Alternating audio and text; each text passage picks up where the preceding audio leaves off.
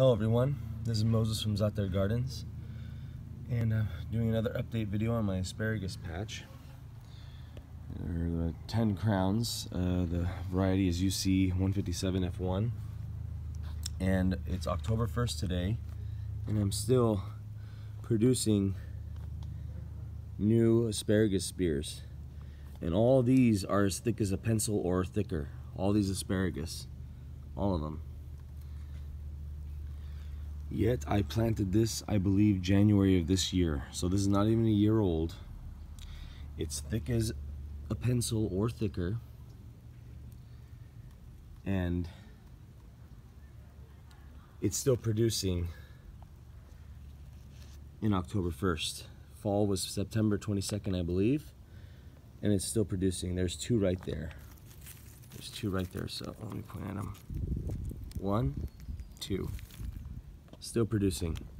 And other other crowns are producing as as well, but these are more prop, uh, a little bit bigger than the rest.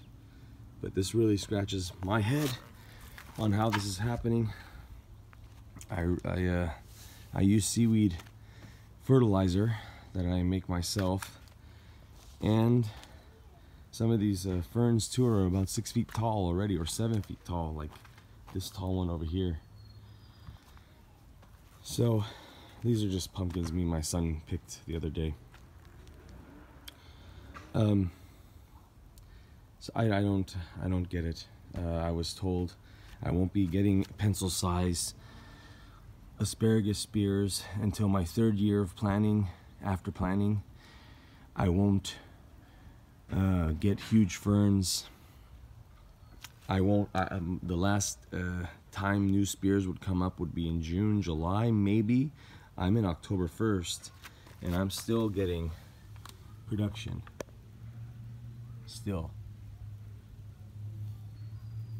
So, if anybody else is watching and this has happened to you, if you'd like to chime in or message me on what you're doing, how did it happen, or what variety you're growing. But everyone I've spoken to, gardeners, online articles. Uh, all of them say uh, that really this it stops producing at June. That's all they all they say.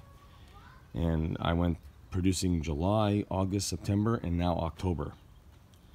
So, pretty amazing. All right, everyone.